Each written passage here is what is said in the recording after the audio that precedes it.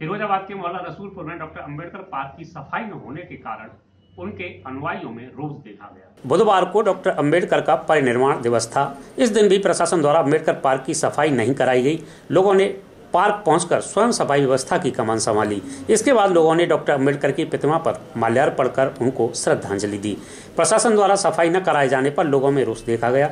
महेश चंद लोकेश कुमार ने बताया कि प्रशासन भेदभाव की नीति अपनाए हुए है, इसलिए उन्होंने डॉक्टर अंबेडकर के परिनिर्माण दिवस पर भी सफ़ाई नहीं कराई है।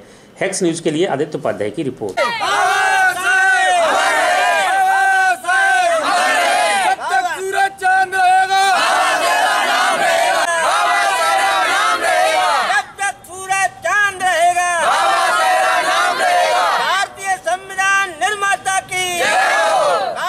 मैं जिस सत्ता परिवर्तन हुआ है, जब से हमारे जितने महान पुरुष लोग हैं, चाहे बाबा साहब हुए, चाहे भगवान गौतम बुद्ध हुए, चाहे हल्याबाई हुई, चाहे जरकारी बाई हुई, जितने हमारे महान पुरुष हैं दलित समाज के इनका सबका अपमान हो रहा है ये सरकार इतनी नकम्य सरकार है, इसलिए हमारे दलितों को कोई उपमान नहीं कर रही है। बैठे हैं, बाबा साहब के जो छह दिसंबर वाले दिन, हर पार्क की सफ़ाई हो जाती है, नगर पालिका के नेतृत्व में काम चलता है इसमें इसके ऊपर चील कौए डले हुए थे बाबा साहब की मूर्ति के ऊपर। किसी ने सफ़ाई नहीं की। मैंने खुद आके अपने हाथ से सफ़ाई की, तुम्हारे मोहल्ले के लोगों ने, उन्होंने सफ़ाई की।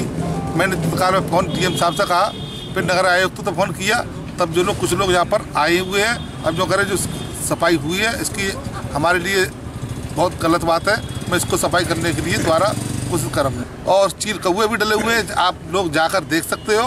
और मैं चाहता हूँ यहाँ पर ऐसे लोगों को मालिक को और यहाँ सफ़ाई करने कर्मचारी को लगाया जाए और जाके हमेशा देख रेख होता ही रहे।